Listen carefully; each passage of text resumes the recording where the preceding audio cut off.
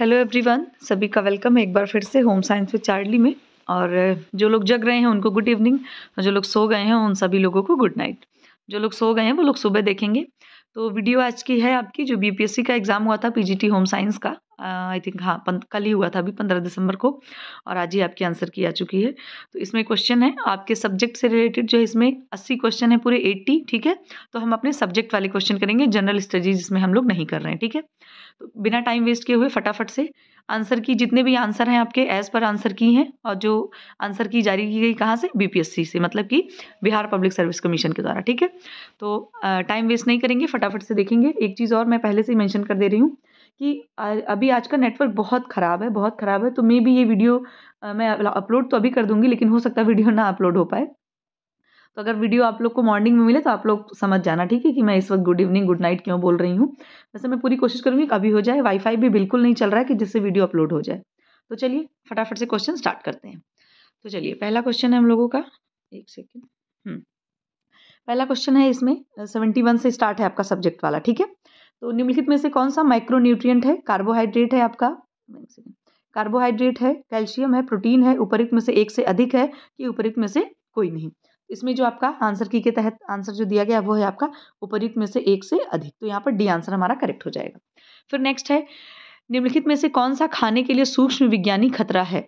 कीड़े हैं, वायरस है, विविल है उपयुक्त में से एक से अधिक या उपयुक्त में से कोई नहीं। आप लोग इस आंसर में देख पा रहे होंगे मतलब ऑप्शन में कि यहाँ पर पहली चीज़ तो पाँच आंसर आने लगे हैं। अब सॉरी, पाँच ऑप्शन आने लगे हैं। पहले तो चार ही होते थे, बट बीपीएससी के एग्ज़ाम में ये देखने को मिल रहा है कि पाँच ऑप्शन आने लगे हैं। हालाँकि पाँच अब और भी एग्ज़ाम में रहते बट इनके क्वेश्चंस में मैक्सिमम आपको पाँच ऑप्शन वाले ही क्वेश्चन मिलेंगे, ठीक है? और इसमें ये वाला जो एक आंसर है मतलब ये वाला जो एक ऑप्शन है उपरिक्त में से एक से अधिक, ये बड़ा उलझाऊ है। तो इसको हमें बहुत ध्यान से देखना है। अभी हो सकता है और भी अपकमिंग एग्ज़ाम्स जो है, उनमें भी आएगी, ठीक है? फ़िलहाल तो आपका सेवेंटी फोर का जो आंसर हो जाएगा, वो हो जाएगा आपका वायरस ठीक है? इसमें आंसर देखिए मैं ऐसे करके ले चल रही हूँ मतलब सेवेंटी वन के बाद सेवेंटी फोर आएगा। नंबरिंग में मत जाएगा आप लोग क्वेश्चन देखिएगा, ठीक है? क्योंकि मुझे जिस तरीके से ईजी पड़ा है, मैंने उस तरीके से पीपीटी में ऐड किया है इसको। फिर नेक्स्ट क्वेश्चन है, विश्व स्वास्थ्य संगठन यानी कि डब्ल्यू ने स्वास्थ्य को किस प्रकार की पूर्ण अवस्था की परिभाषा अवस्था की स्थिति में परिभाषित किया है? डब्ल्यूएचओ की डिफिनेशन एक तरीके से आपसे पूछ रहे हैं। तो ये है आपका आध्यात्मिक कल्याण, यानी कि स्पिरिचुअल हेल्थ की बात हो रही है। फिर मानसिक, शारीरिक और सामाजिक कल्याण, फिर रोग का अभाव उपयुक्त में से एक से अधिक उपयुक्त में से कोई नहीं। इसमें भी जो आपका आंसर हो जाएगा, वो हो जाएगा आपका उपयुक्त में से एक से अधिक। क्योंकि डब्ल्यू ने जो डिफिनेशन दी है, वो आपकी स्पिरिचुअल हेल्थ की भी बात करता है मेंटल फ़िज़िकल सोशल उसकी वेलबींग की बात करता है और रोग के अभाव की भी बात करता है, ठीक है? तो उनकी डिफिनेशन में आपको पता ही है कि आपका मेंटली फिजिकली स्पिरिचुअली इसके बाद इमोशनली सब तरीके से आपको हेल्दी रहना है। ना कि सिर्फ़ डिज़ीज़ का मतलब आपकी बॉडी में डिज़ीज़ की एबसेंस ही मतलब पूरी तरीके से आप हेल्दी माने जाएँगे, ठीक है? अगर बीमारियाँ नहीं हैं तो भी आप निरोग नहीं माने जाएँगे, ठीक है? अगर आपका सोशली मेंटली और फिजिकली आप हेल्दी नहीं है तो ठीक? चलिए, अभी नेक्स्ट क्वेश्चन है हमारा। पास्चुरीकरण पास्चुराइजेशन की बात हो रही है आपकी। पास्चुरीकरण में तापमान को किस प्रकार रखा जाता है? 100 डिग्री सेल्सियस पर या 100 डिग्री सेल्सियस से ऊपर या 100 डिग्री सेल्सियस से नीचे, उपयुक्त में से अधिक या उपयुक्त में से कोई नहीं? इसमें आंसर होगा आपका सी मतलब कि 100 डिग्री सेल्सियस से नीचे, क्योंकि पास्चुराइजेशन का जो आपका टेम्परेचर होता है वो कितना होता है? सिक्सटी डिग्री सेल्सियस ठीक है? फिर नेक्स्ट है हमारा, निम्न में से कौन सा भोजन प्रोटीन से समृद्ध माना जाता है? आपका आम है, दालें हैं, मक्का है उपयुक्त में से एक से अधिक है उपयुक्त में से कोई नहीं। बहुत अच्छा क्वेश्चन है आपका, जो आपकी पल्सेस दालें हैं जितनी भी तरह की, वो सभी आपकी प्रोटीन रिस्ट होती हैं। फिर नेक्स्ट है, फल जैसे किशमिश, आलू बुखारा, अंजीर, खुबानी, नाशपाती और आंडू को किस प्रकार संरक्षित किया जाता है? प्रिजर्वेशन की बात हो रही है यहाँ पर, ठीक है? कैसे फलों को संरक्षित किया जाता है? निर्जलीकरण यानी कि डिहाइड्रेट करके, सुखा करके यानी उसको ड्राई करके या डिब्बाबंदी इसके बाद डिब्बाबंदी करके या फिर उपयुक्त में से एक से अधिक या उपयुक्त में से कोई नहीं। तो इसमें आपको सभी को पता है कि ये सब चीज़ें क्या की जाती हैं? इन सभी को डिहाइड्रेट किया जाता है, निर्जलीकरण किया जाता है इनका। इनका वाटर कम से कम एट्टी टू नाइन्टी परसेंट सुखा दिया जाता है और फिर इनको जो है स्टोर कर लिया जाता है। और फिर इनको आप बिना सीज़न के मतलब कि ऑफ़ सीज़न में भी आप इनको इस्तेमाल कर सकते हैं। फिर नेक्स्ट क्वेश्चन है जब लंबाई उम्र के अनुसार पर्याप्त से कम हो मतलब कि जो हाइट है बच्चे की, वो जिस उम्र का बच्चा है, उसके अकॉर्डिंग उसकी हाइट ना हो तो उसे डैश कहते हैं। क्या कहते हैं? मरासमस कहते हैं वेस्टिंग कहते हैं स्टंटिंग कहते हैं उपयुक्त में से एक से अधिक या उपयुक्त में से कोई नहीं। तो ऐसे में क्या होता है, अगर कोई बच्चा मान लो पाँच साल का है, लेकिन उसकी जो हाइट है, वो तीन साल के बच्चे के बराबर है, या कोई बच्चा बारह साल का है तो उसकी हाइट आठ साल के बच्चे के बराबर है। मतलब उसकी जो हाइट है, वो उसके एज के अकॉर्डिंग उतनी नहीं, जितनी उतनी होनी चाहिए। तो ऐसे को हम लोग टर्म देते हैं स्टंटिंग ऐसी चीज़ को हम लोग क्या बोलते हैं? स्टंटिंग बोलते हैं. नेक्स्ट है पेप्सिन एंजाइम कहाँ पाया जाता है? पेट में छोटी आंत में आंत की कोशिकाओं में या उपरित में से एक से अधिक? नीचे भी एक ऑप्शन दिया गया है उपरित में से कोई नहीं। जो यहाँ पे नहीं आ, मतलब ऐड हो पाया उसको मैंने क्रॉप कर दिया है। तो पेप्सिन एंजाइम आपका कहाँ पाया जाता है? आपके स्टमक में ठीक है? फिर नेक्स्ट है पेप्सिन एंजाइम किस चीज़ को डाइजेस्ट करने में मदद करता है? आपके प्रोटीन के ठीक है? फिर नेक्स्ट है कौन सी विटामिन की ज़रूरत होती है? स्वस्थ एपिथीलियम की, जो आपके एपिथीलियम टिश्यू होते हैं, सामान्य दृष्टि की, यानी नॉर्मल विजन जो आपका होता है, विकास और रोग प्रतिरोधक क्षमता बनाए रखने के लिए। तो कौन सा विटामिन ऐसा है, जिसका इतना सारा काम होता है? विटामिन सी है, विटामिन बी ट्वेल्व है, विटामिन ए है, उपरित में से एक से अधिक, उपरित में से कोई नहीं। तो इस, इतना सारा जो अच्छा अच्छा काम है, वो किसका है? आपका विटामिन ए का है, ठीक है? और इस टाइम आप विटामिन ए खूब सारा ले सकते हैं। ऑरेंज आ रहा है, पपीता आ रहा है, गाजर आ रही है, खूब हरी सब्ज़ियाँ आ रही हैं, खूब लाल पीली आपकी शिमला मिर्च आ रही है तो खूब अच्छे से हरी सब्ज़ियाँ खाइए और विटामिन ए की जो है भरपूर एकदम जितनी भी ज़रूरत है आपके शरीर में, उसको पूरा एकदम मेंटेन किए रहिए। फिर नेक्स्ट है, प्रगतिशील श्रृंखला में क्रमानुसार सुसंगत बदलाव को डैश कहते हैं। मतलब कि क्या है, प्रगतिशील की बात हो डेवलप डेवलप हो रहा है कुछ, ठीक है? तो क्या हो रहा है, एक सीक्वेंस में हो रहा है, ठीक है? और वन बाई वन मतलब क्या बोलते हैं वन बाई वन हो रहा है, ठीक है? और सुसंगत मतलब बहुत व्यवस्थित तरीके से हो रहा है। तो उसको क्या कहते हैं, वृद्धि कहते हैं, विकास, परिपक्वता या उपयुक्त में से एक से अधिक या उपयुक्त में से कोई नहीं। तो ये जो चीज़ है, आपकी इतनी अच्छी, अच्छे से हो रहा है सिस्टम से हो रहा है, ये होता है आपके डेवलपमेंट यानी कि विकास में, ठीक है? किससे हो रहा है? किसमें होता है? डेवलपमेंट जो आपका होता है, वो एक सीक्वेंस में होता है, एक सिस्टमेटिक वे में होता है, ठीक है? तो यहाँ पर बी आंसर आपका करेक्ट हो जाएगा। नेक्स्ट है, निम्न में से कौन सा डाइसैक्राइड कार्बोहाइड्रेट है? कितना ही आसान क्वेश्चन है हमारे लिए लेकिन ठीक है, अभी। तो ग्लूकोज है लैक्टोज है फ्रक्टोज है उपरित में से एक से अधिक है उपरित में से कोई नहीं है। तो ये बात सभी को पता है आपका ग्लूकोज फ्रक्टोज और गैलेक्टोज ये आपका जो है क्या है? ये आपके मोनोसाइक्राइड है, बच गया आपका लैक्टोज जो आपका मिल्क में पाया जाता है, ये है आपका डाइसाइक्राइड ठीक है? फिर नेक्स्ट है, पके हुए स्टार्च का पाचन कहाँ शुरू होता है? ये क्वेश्चन आपका टीजीटी 2016 में आई थिंक पूछा गया था हाँ। तो मुँह में होता है, पेट में होता है, यहाँ पे स्टार्ट की बात हो रही शुरू कहाँ से होता है? छोटी आंत में होता है उपयुक्त में से एक से अधिक, या उपयुक्त में से कोई नहीं। तो सभी को पता है कि माउथ से ही स्टार्ट हो जाता है आपके जिससे सलाइवा में सलाइवा और स्टार्च आपस में मिलते हैं, वहीं से थोड़ा थोड़ा डाइजेशन स्टार्ट हो जाता है। नेक्स्ट है विकास जो आयाम और कोशिशों से आता है। मतलब आप क्या करें आ, कोशिश करें प्रैक्टिस करें उस चीज़ की तो वो चीज़ जो आती है उसको क्या कहते हैं? परिपक्वता सीखना वृद्धि उपयुक्त में से एक से अधिक या उपयुक्त में से कोई नहीं। इनके सभी क्वेश्चन में जहाँ भी पाँच ऑप्शन है वहाँ पर उपयुक्त में से एक से अधिक और उपयुक्त में से कोई नहीं। ये दोनों हर जगह ऐड है ठीक है? तो यहाँ पर जो आंसर आएगा आपका वो होगा आपका सीखना लर्निंग की बात हो रही है अधिगम यहाँ पर हो रहा है। क्या हो रहा है? अधिगम हो रहा है इसका आंसर आपका अगर यहाँ पर अधिगम भी दिया गया होता तो हम अधिगम के साथ जाते हैं, ठीक है? फिर नेक्स्ट है, एक सामान्य शिशु का वज़न किस समय तक दुगना हो जाता है? तीन महीने में छः महीने में, नौ महीने में उपयुक्त में से एक से अधिक उपयुक्त में से कोई नहीं। तो बहुत, ये भी क्वेश्चन बहुत फ़ेमस है और बहुत बहुत बार आप लोगों के आँख के सामने गया होगा सिक्स मंथ में बच्चे का वज़न कितना हो जाता है? दो गुना हो जाता है। फिर नेक्स्ट है, तीन महीने की उम्र में कौन सा क्रियात्मक विकास माइलस्टोन शिशु हासिल कर लेता है? मतलब बच्चा जब तीन महीने का तो वो इन तीनों, इनमें से कौन सा काम कर सकता है? वह पीठ से पेट और पेट से पीठ की तरफ़ पलट सकता है, एक वयस्क के सहारे बैठ सकता है, अपने सिर को संभाल सकता है उपयुक्त में से एक से अधिक, ठीक है? तो इसमें क्या कर सकता है बच्चा, जब थ्री मंथ्स का रहेगा तो वो अपने सिर को संभाल सकता है, यही एक काम बेचारा कर पाएगा अभी तक तो वो। फिर नेक्स्ट है, राष्ट्रीय प्रतिरक्षण सारणी के अनुसार नौ महीने के शिशु को कौन सा टीका लगाया जाता है? ओपीवी ओपीवी क्या है आपका? ओरल पोलियो वायरस वाला सॉरी ओरल पोलियो वैक्सीन फिर आपका हेपेटाइटिस बी खसरा रुबेला उपयुक्त में से एक से अधिक या उपयुक्त में से कोई नहीं। तो ये जो आपका एमआर का टीका होता है, इसको एमएमआर भी बोलते हैं, ठीक है? मीजल्स मम्स रुबैला ठीक है? तो ये आपका इसको एम आर यहाँ पे लिखा हुआ तो ये खसरा रुबैला का टीका नाइन मंथ में बच्चे को लगाया जाता है।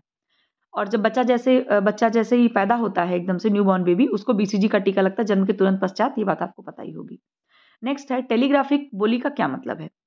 तो टेलीग्राफिक बोली का मतलब होता है तुतलाना कि एक या दो शब्दों के सरल वाक्य जो संपूर्ण अर्थ अभिव्यक्त करते हैं या कुकू करना, जिसको हम लोग कुइंग बोलते हैं, उपयुक्त में से एक से अधिक, उपयुक्त में से कोई नहीं। तो इसमें टेलीग्राफिक सॉरी टेलीग्राफिक स्पीच का मतलब क्या होता है कि बच्चा क्या करता है, एक या दो शब्दों के सरल वाक्यों को आराम से वो बोल लेता है और उसकी मीनिंग भी समझ में आती है उसको, ठीक है? तो यहाँ पर बी आंसर हमारा करेक्ट हो जाएगा।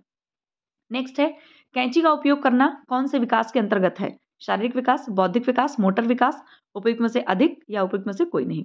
इसमें जो आंसर है आपका, क्या कर रहा है बच्चा? फिंगर्स का इस्तेमाल कर रहा है, ठीक है? फिंगर्स के सारे पूरे हाथ से पकड़ के, हथेलियों और फिंगर्स का इस्तेमाल करके वो क्या कर रहा है? कोई काम कर रहा है, विकास कर रहा है एक तरीके से, कुछ एक्टिविटी कर रहा है। ऐसे को हम लोग बोलते हैं क्या बोलते हैं? क्रियात्मक विकास कर सकते हो चाहे आप मोटर डेवलपमेंट, ठीक है? सी आंसर करेक्ट हो जाएगा यहाँ। फिर नेक्स्ट है हमारा, जब शिशु स्वस्थ वृद्धि के ये वाला हम लोग कर रहे हैं, एक मिनट। ये 87 वाला।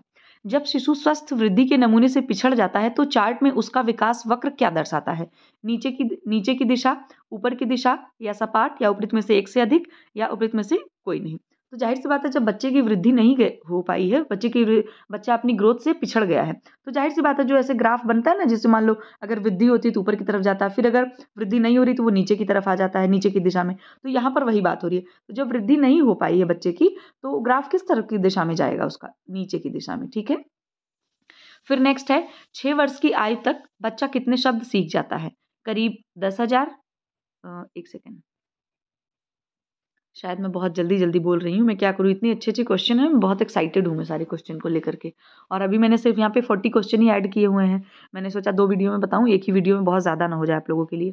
तो चलिए, करीब दस हज़ार शब्द सीख लेता है, या करीब बारह हज़ार, या करीब आठ हज़ार उपयुक्त में से एक से अधिक, या उपयुक्त में से कोई नहीं। तो छः वर्ष तक की आयु तक का जो बच्चा होता है, वो कितने शब्द सीख लेता है आपके? दस हज़ार तक के शब्द वो सीख लेता है। फिर नेक्स्ट है, मानव विकास सूचकांक, ठीक है? ह्यूमन डेवलपमेंट इंडेक्स किसका सूचकांक है?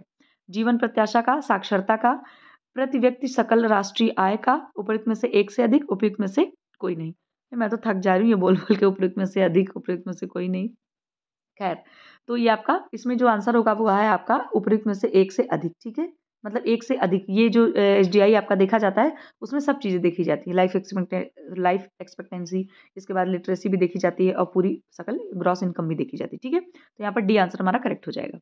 फिर है आपका नाइन्टी फोर वाला, विद्यालय पूर्व, बच्चों के आहार में किस पहलू पर ज़ोर दिया जाना चाहिए? जो आपके प्री स्कूलर्स होते हैं, उनके आहार में किस चीज़ पर ज़्यादा ध्यान दिया जाना चाहिए? बनावट, स्वाद, गंध व रोगों में सॉरी रंगों में विविधता मतलब उनका भोजन ऐसा होना चाहिए जिनकी बनावट, उनका टेक्सचर टेस्ट और जो भी स्मेल है, उसमें काफ़ी डाइवर्सिटी हो अलग अलग तरह का हो। तो ज़ाहिर सी बात है, ये होना ही चाहिए, क्योंकि बच्चे बड़ा कलरफुल और बड़ा मतलब आप कह सकते हो कि अलग अलग तरह का खाना खाना पसंद करते हैं। फिर नेक्स्ट है, जटिल कार्बोहाइड्रेट के बीच संतुलन। बिल्कुल सही बात है सिंपल कार्बोहाइड्रेट भी रखिए और जटिल कार्बोहाइड्रेट भी रखिए, जिससे बच्चा दोनों में अच्छे से बैलेंस करके खा सके। फिर नेक्स्ट है, मिठाई आइसक्रीम और फास्ट फ़ूड के उपभोग पर संयम। आप क्या कर सको? जो बच्चा मिठाई, आइसक्रीम फास्ट फ़ूड ये सब चीज़ें खा रहा है, उस पर आप थोड़ा सा कंट्रोल लगा पाएँ। वो बहुत ज़्यादा ना खा पाए मतलब थोड़ा बहुत खिला सकते हैं आप बट ऐसा ना हो कि बच्चा बस फास्ट फ़ूड पे ही बिल्कुल डिपेंडेंट है। तो इसमें जो आंसर होगा आपका, इसमें भी आपका होगा उपयुक्त में से एक से अधिक, क्योंकि आपका ये उपयुक्त तीनों होगा, ठीक है? ए बी सी तीनों चीज़ें आपको ध्यान में रखनी है। फिर नेक्स्ट है, विश्व स्वास्थ्य संगठन शिशु को किस उम्र तक, ये वाला क्वेश्चन है हमारा 92 विश्व स्वास्थ्य संगठन शिशु को किस उम्र तक विशिष्ट रूप से सिर्फ़ स्तनपान की सिफारिश करता है? छः माह तक, चार माह तक, आठ माह तक उपयुक्त में से एक से अधिक। तो ये भी बात आप लोगों को पता है कि बच्चे को सिक्स मंथ तक ब्रेस्ट फीडिंग बच्चे की मतलब मदर ब्रेस्ट फीडिंग कराना कंपलसरी किया गया है बाई डब्ल्यू ठीक है?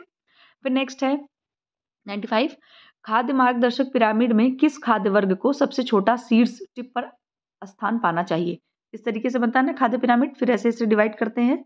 जो फ़ूड आपको सबसे ज़्यादा इंक्लूड करना है, वो सबसे नीचे, फिर उससे कम वाला इससे ऊपर, फिर उससे कम वाला इसमें, फिर उससे कम वाला इसमें, फिर जिसको सबसे कम यूज़ करना है, उसको हम लोग सबसे ऊपर रखते हैं। तो इसमें आपको बताना है कि कौन सा खाद्य वर्ग ऐसा जिसको सबसे कम मात्रा में रखना है। वसा और चीनी, दालें और फलियाँ, मांस उत्पाद, उपयुक्त में से एक से अधिक, उपयुक्त में से कोई नहीं। तो सभी को पता है, वसा और तेल को और चीनी को मतलब जो मीठा, मीठी चीज़ें हैं, उनको हम लोग सबसे कम उसमें रखते हैं। पिरामिड पे सबसे ऊपर स्थान रखा जाता है। इसका मतलब इसको बहुत कम अमाउंट में हमें अपने भोजन में डेली शामिल करना चाहिए। फिर नेक्स्ट है, बाल्यकाल में पोषण की कमी से होने वाला रोग है। चाइल्डहुड की बात हो रही है तो प्रोटीन ऊर्जा को पोषण, जिनको हम लोग प्रोटीन एनर्जी माल न्यूट्रिशन बोलते हैं, रक्त की कमी, यानी एनीमिया पोषणात्मक अंधापन, जो आपका vitamin A deficiency night blindness कह सकते हो आप उपयुक्त में से एक से अधिक उपयुक्त में से कोई नहीं। इसमें आंसर होगा डी उपयुक्त में से एक से अधिक, क्योंकि ये तीनों चीज़ें जो होती हैं आपकी, ये चाइल्डहुड में पोषण की कमी अगर की जा रही बच्चों में न्यूट्रिएंट्स प्रॉपर उनको नहीं मिल पा रहे हैं तो ये दिक्कत उनमें हो सकती है, ठीक है? प्रोटीन ऊर्जा का पोषण हो जाएगा तो बच्चे को मरासमस या क्वासियोरकर हो सकता है। रक्त की कमी होगी तो मतलब अगर आयरन की कमी आप करेंगे तो एनीमिया हो सकता है। विटामिन ए विटामिन ए वाले फ़ूड अगर आप बच्चे को नहीं दे पा रहे तो बच्चे में नाइट ब्लाइंडनेस भी हो सकती है। नेक्स्ट क्वेश्चन है निम्नलिखित में से कौन सी है किशोरावस्था में खान पान संबंधी विकृति है जिसमें, जिससे ग्रस्त रोगी बार बार खाने लगता है, अत्यधिक खाता है है और उल्टी अथवा विरेचकों के उपयोग द्वारा पेट साफ़ करता है? मतलब कि एडोलसेंस का एक ये डिसऑर्डर आप कह सकते हो साइकोलॉजिकल डिसऑर्डर है। जिसमें बच्चा क्या करता है? बच्चा क्या मतलब एडोलसेंस किशोर क्या करता है? किशोर किशोरी कोई भी, वो बार बार खाना तो खाता है और काफ़ी ज़्यादा ज़्यादा खाना खाता है, लेकिन उसको क्या करता है? तुरंत वो वॉमिटिंग कर देता है या ऐसी दवाइयाँ खा लेता है जिससे उसको वॉमिटिंग हो जाए। तो ऐसे डिसऑर्डर का क्या नाम है? एनोरेक्सिया नर्वोसा बुलीमिया एनोरेक्सिया उपयुक्त में से एक से अधिक या उपयुक्त में से कोई नहीं। इसमें जो आपका आंसर हो जाएगा वो होगा आपका एनोरेक्सिया नर्वोसा ठीक है? फिर नेक्स्ट है। नेक्स्ट क्या है आपका? ये वाला क्वेश्चन है। एक पोषण का विशिष्ट क्षेत्र जो बीमारियों में पोषण संबंधित है, उसे डैश कहते हैं। नैदानिक पोषण, चिकित्सीय पोषण थेरेपी या फिर आपका डायटेटिक्स या उपयुक्त में से एक से अधिक। इसमें जो आपका आंसर होगा, वो होगा उपयुक्त में से एक से अधिक, क्योंकि इसमें क्या होगा, पोषण से विशिष्ट जो बीमारियों में क्षेत्र संबंधित है, उसमें तीनों चीज़ें आती हैं। आपकी डायग्नोज भी किया जाता है, ठीक है? कि बच्चे में विटामिन ए की कमी है, कि एनीमिया है, कि विटामिन सी की कमी है, कि उसको मतलब तमाम तरह की जो डिज़ीज़ होती हैं वो सब चेक किया जाता है। फिर उस तरीके की उसको थेरेपी दी जाती है। मतलब जिस भोजन की जिस न्यूट्रिएंट की कमी रहेगी, वो न्यूट्रिएंट्स उसको दिए जाएँगे। और डायटेटिक्स क्या है? डायटेटिक्स में आपको पता ही है, अगर मान लो कोई बीमारी है तो उस बीमारी से संबंधित आहार उसको दिए जाएँगे, उस मात्रा में और उस तरह का आहार उसको दिया जाएगा। ये हो गया आपका डायटेटिक्स। फिर है, हंड्रेड नंबर का क्वेश्चन, कितना आसान क्वेश्चन देखिए। कॉन्स्टिपेशन मतलब कब्ज के दौरान क्या लेना चाहिए? अधिक रेशयुक्त आहार, अधिक वसायुक्त आहार ओरल डिहाइड्रेशन सॉल्यूशन यानी कि ओआरएस का घोल उपयुक्त में से एक से अधिक उपयुक्त में से कोई नहीं। तो सभी को पता है कि हाई फाइबर फ़ूड लेना चाहिए यानी कि अत्यधिक रेशयुक्त आहार लिया जाना चाहिए जब किसी को कॉन्स्टिपेशन की दिक्कत हो। फिर नेक्स्ट क्वेश्चन है कम भार वाले व्यक्तियों का body mass sorry body mass index क्या होता है? बॉडी मास इंडेक्स मतलब आपका बीएमआई जो होता है। बीएमआई का फॉर्मूला सॉरी बीएमआई का फॉर्मूला आप लोग कमेंट सेक्शन में बताना। तो क्या होता है? बीएमआई जो उसका इंडेक्स है, कम भार वाले व्यक्तियों का कितना होगा? 18.5 से कम या 18 पॉइंट से कम या 20 से कम या उपयुक्त में से एक से अधिक या उपयुक्त में से कोई नहीं। तो जो कम भार वाले व्यक्ति होंगे मतलब कि अंडर वेट की बात हो रही है तो उनका अगर बीएमआई आप, उनका बीएमआई अगर 18.5 से कम आ रहा है तो इसका मतलब ये है कि वो कम भार वाले व्यक्ति यानी कि अंडर वेट है, ठीक है? बीएमआई का फॉर्मूला आप लोग बताइएगा कॉमेंट सेक्शन में। बीएमआई कैसे निकालते हैं? फिर नेक्स्ट है नरम आहार सॉफ्ट डाइट की बात हो रही है तो सॉफ्ट डाइट क्या है? ठोस पर नरम भोजन है हल्के मसाले युक्त भोजन है। रेशे और गैस बनाने वाले खाद्य पदार्थ नहीं होते हैं। उपरोक्त में से एक से अधिक या उपयुक्त में से कोई नहीं। इसमें जो आंसर है आपका वो है आपका डी यानी कि उपरोक्त में से एक से अधिक, क्योंकि जो आपकी सॉफ्ट डाइट होती है, उसमें ये तीनों चीज़ें इंक्लूडेड होती हैं। ठोस आहार दिया जाता है लेकिन ठोस आहार का मतलब उसमें दाल, चावल, सब्ज़ियाँ सब रहती है लेकिन इतना उसको पका दिया जाता है को बिल्कुल सॉफ्ट कर दिया जाता है उनको, ठीक है? इसके बाद हल्के मसाले युक्त भोजन, बहुत बहुत कम मसाले वाला भोजन बनाया जाता है। रेशे और गैस बनाने वाले जो खाद्य पदार्थ होते हैं, उसमें उसको एक्सक्लूड कर दिया जाता है, हटा दिया जाता है, उसको नहीं रखा जाता है। तो इसलिए हमारा उपयुक्त में से एक से अधिक आंसर करेक्ट होगा। फिर नेक्स्ट है, अधिक वज़न वह स्थिति है जब शरीर का वज़न, वांछित वज़न से 20 परसेंट अधिक होता है, उम्र लंबाई और लिंग के अनुसार माध्य मानक वज़न से 10 से 20 परसेंट अधिक होता है सी है आपका वांछित वज़न से 10 परसेंट कम होता है, उपरोक्त में से एक से अधिक या उपरोक्त में से कोई नहीं। तो अधिक वज़न की स्थिति वो होती है, या फिर आप कह सकते हो ओबिसिटी एक तरीके से आपसे पूछ रहे हैं। जब उम्र लंबाई और लिंग के अनुसार जो मानक वज़न होता है, उससे 10 से 20 परसेंट ज़्यादा वज़न होता है तो आपका अधिक वेट माना जाता है। मतलब कि जो आपका एज है, आपकी हाइट है और आपका जो जेंडर है, उसके हिसाब से अगर आपका वज़न 10 से 20 परसेंट से ज़्यादा है तो आप अधिक वज़न की स्थिति में आएँगे, ठीक है? फिर नेक्स्ट है, निम्न में से कौन सा गैर मानव संसाधन है? गैर मानव संसाधन मतलब कि मानवीय संसाधन नहीं है, एक तरीके से। क्या है? नहीं है। तो धन आपका है, कौशल है, समय है, उपयुक्त में से एक से अधिक, उपयुक्त में से कोई नहीं। तो कौशल, समय, ये सब आपको पता ही है कि ये सब आपके मानवीय संसाधन है ह्यूमन बींग रिसोर्सेज है, ठीक है? तो इसमें जो आपका धन हो जाएगा, वो आपका करेक्ट आंसर है। मतलब कि जो मनी होती है, वो आपका गैर मानवीय संसाधन है ओके फिर हमारा नेक्स्ट है, संसाधनों की विशेषता को चिन्हित कीजिए। जो रिसोर्सेज होते हैं, उनकी क्या विशेषताएँ होती हैं? सुलभता है, उपयोगिता है, विनिमयता है उपयुक्त में से एक से अधिक उपयुक्त में से कोई नहीं। इसमें आपका तीनों आंसर सही होगा मतलब कि जो रिसोर्सेज होते हैं, वो सुलभ भी होते हैं, उपयोगी भी होते हैं और विनिमयता भी होती है उनमें, ठीक है? तो यहाँ पर डी आंसर करेक्ट होगा कि उपयुक्त में से एक से अधिक। फिर नेक्स्ट है नेक्स्ट फिर से है ये। 104 नंबर क्वेश्चन है। प्रबंधन में यह सुनिश्चित करना कि कार्यकलाप वांछित फल प्रदान कर रहे हैं, उसे डैश कहते हैं। मतलब कि आपने कुछ मैनेज किया है, मैनेजमेंट किया, प्लान किया है आपने तो उसमें जो कार्यक्रम हो रहा है, वो कार्यक्रम हु बहु वैसे हो रहा है जैसे आपने प्लान किया था। और वही सेम सेम आउटपुट भी आ रहा जो आपने सोचा था। तो ऐसे टर्म को क्या कहा जाएगा? नियोजन कहेंगे, नियंत्रण कहेंगे, आयोजन कहेंगे, उपरित में से एक से अधिक। तो इस टर्म को हम लोग कहेंगे नियंत्रण। नियंत्रण में होता क्या है? नियंत्रण का मतलब क्या है? कि आपने जैसा प्लान किया था, वैसा ही आउटपुट आ रहा है। इसका मतलब जो आपकी, आपने जो प्लान किया था, वही आउटपुट मिल रहा है। इसका मतलब आपका जो पूरा मैनेजमेंट है, वो बिल्कुल कंट्रोल में है। ठीक है? जैसा आपने सोचा, वैसे ही हो रहा है। तो कैसे मान लीजिए आपके घर में कोई शादी है फॉर एग्ज़ाम्पल तो अगर सब कुछ आपके मुताबिक हो रहा है, आपने जैसे सोचा था, इतने गेस्ट आएँगे, ऐसे डेकोरेशन होगी, फिर इतने बजे लोग चले जाएँगे, फिर इतने बजे शादी हो जाएगी, फिर इतने बजे ऐसे हो जाएगा, इतने बजे ब्रेकफास्ट हो जाएगा, सारी चीज़ें हो जाएँगी। तो सब कुछ आप क्या बोलते हैं? आप बोलते हैं हाँ सब कुछ बड़ा अच्छे से मैनेज हो रहा है, जैसे सोचा था, वैसे हो रहा है। इस प्रोसेस को हम लोग नियंत्रण बोलते हैं कंट्रोल है। मतलब कि सब कुछ आपके, सारी सिचुएशन आपके कंट्रोल में है। जैसे जैसे आपने इमेजिन किया था, जैसे जैसे आपने पूरा प्लान किया था, वो सब कुछ आपके मुताबिक चल रहा है। तो यहाँ पर बी आंसर करेक्ट हो जाएगा। एक सौ सात नंबर का क्वेश्चन है, धन के उपयोग के लिए नियोजन का सबसे आम तरीका है। आम तरीका मतलब एकदम से लोकल कह सकते हो आप। तो रिकॉर्ड रखना या लेखा या बजट या उपयुक्त में से एक से अधिक, उपयुक्त में से कोई नहीं। धन के उपयोग का सबसे आम तरीका क्या है आपका? घर में हम क्या करते हैं? बजट बनाते हैं, ठीक है? तो बजट आपका सबसे आम तरीका होगा, क्योंकि यूजली हम घर में बजट बनाते हैं, कितना पैसा खर्चा होगा, इतना पैसा फ़ीस में जाएगा, इतना पैसा सब्ज़ी में जाएगा, है ना? ये सब तो आम तरीका आपको बजट बनाना है। फिर नेक्स्ट है, समय के प्रभावी तरीके से प्रबंधन में कौन सी स्थिति मदद करती है, ठीक है? प्रभावी तरीके से प्रबंधन में मदद कौन करती है? चरम भार अवधि या आपकी जो है विश्राम अवधि या आपका कार्य वक्र यानी कि वर्क कर्व और चरम भार अवधि का मतलब पीक लोड है और ये आपका रेस्ट पीरियड है, ये आपका वर्क कर्व है, ठीक है? उपयुक्त में से एक से अधिक, उपयुक्त में से कोई नहीं। इसमें जो आंसर दिया गया है, वो दिया गया है उपयुक्त में से एक से अधिक। मतलब ये जो तीनों चीज़ें आपकी पीक लोड है रेस्ट पीरियड है और कार्यवक्र है, ये तीनों चीज़ें प्रबंधन में आपकी मदद करती हैं। फिर से नेक्स्ट है, वह कौन सी आय है जो सेवाओं तथा माल के स्वामित्व एवं उपयोग के फलस्वरूप संतोष देती है? इनकम से रिलेटेड कोई भी अगर क्वेश्चन आ रहा है तो बड़ा अच्छा कीवर्ड है आपका, संतोष। इसका मतलब सेटिस्फैक्शन ठीक है? तो ये कहाँ से मिलता है? मानसिक आय से, वास्तविक आय से, अप्रत्यक्ष आय से उपयुक्त में से एक से अधिक उपयुक्त में से कोई नहीं। तो ये जो आपका होता है, सेवाओं और माल के मतलब जो सेवा है, जो आपके पास मटेरियल है, उनसे जो आपको संतोष मिल रहा है, उनका उपयोग आप कर रहे हैं, उससे आपको बड़ा सेटिस्फैक्शन प्राप्त हो रहा है, वो होती है आपकी मानसिक आय, यानी कि साइकिक इनकम ठीक है? मान लीजिए आप आप एसी खरीद के लाए, आप गैस चूल्हा खरीद के लाए। आपका एसी बहुत अच्छे से काम कर रहा है, बिजली बहुत कम खा रहा है, गैस आपकी बहुत अच्छे से चल रही है, खाना जल्दी पक रहा है है ना? बहुत अच्छा सब कुछ चल रहा है। तो आप क्या बोलोगे कि इसमें पैसा ज़रूर लगा, लेकिन इसका जो मतलब यूटिलाइजेशन वो बड़ा बेहतरीन है। एसी बहुत अच्छे से काम कर रही है, पूरा पूरा एकदम रूम में कूलिंग बहुत अच्छी हो रही है, सब कुछ बहुत अच्छा हो रहा है। तो इसको हम लोग साइकिक इनकम बोलते हैं। हम मानसिक रूप से संतुष्ट फील करते हैं अपने आप को, ठीक है? तो ये आपकी साइकिक इनकम के अंतर्गत आएगा।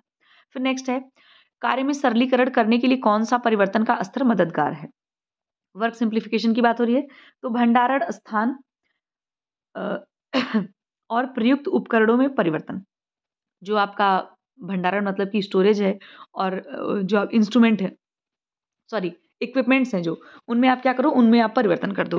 फिर दूसरा, अंतिम उत्पाद में परिवर्तन मतलब कि जो खाने की चीज़ें रेडी टू ईट वाली चीज़ें आप अपने मतलब शामिल कर लो अपने किचन में लाइक वो इडली का बैटर आता है डोसे का बैटर आता है केक बनाने का बैटर आता है पूरा तो उसको आप घोल करके तुरंत बना दो। इसको बोलते हैं अंतिम उत्पाद में परिवर्तन। फिर हाथ और शरीर की गतियों में परिवर्तन। फिर और डी है आपका उपयुक्त में से अधिक और ई है आपका उपयुक्त में से कोई नहीं। तो ये जो तीनों परिवर्तन आपके दिए गए हैं, ये तीनों, ठीक है? तो ये तीनों आपके जो है कार्य सरलीकरण में मदद करने के लिए मददगार हैं, ठीक है? तो यहाँ पर आंसर होगा आपका उपयुक्त में से एक से अधिक। डी आंसर करेक्ट हो जाएगा। चलिए अब नेक्स्ट पे आते हैं। ऊनी रेशे का प्रोटीन क्या कहलाता है? बहुत अच्छा क्वेश्चन सेरेसिन कहलाता है, केरेटिन कहलाता है फाइब्रॉइन कहलाता है। उपयुक्त में से एक से अधिक उपयुक्त में से कोई नहीं। सभी को पता है, ऊनी का प्रोटीन जो होता है आपका केरेटिन। बाकी आपका फाइब्रोनाइन और सेरेनिन है जो सेरेसिन है जो, वो आपका रेशम का प्रोटीन है, ठीक है?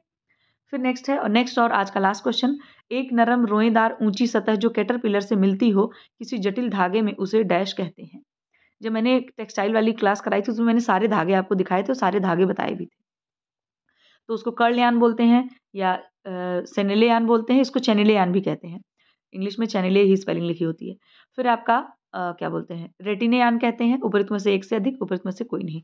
तो जो कैटर पिलर के आकार का होता है उसको हम लोग बोलते हैं सेनिलेयान ठीक है? मतलब सेनिले धागा।